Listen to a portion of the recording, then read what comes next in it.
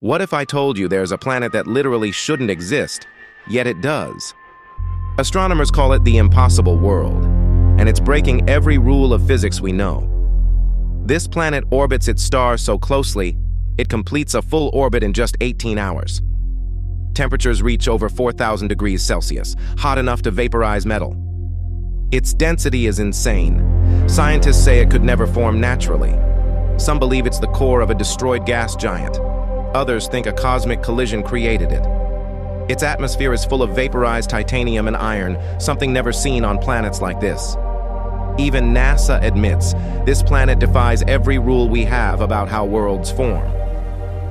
Found by the Kepler Space Telescope, it continues to baffle astronomers around the world.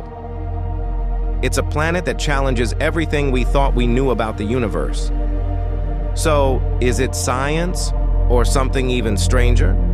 Subscribe Spectorspeak for more cosmic mysteries.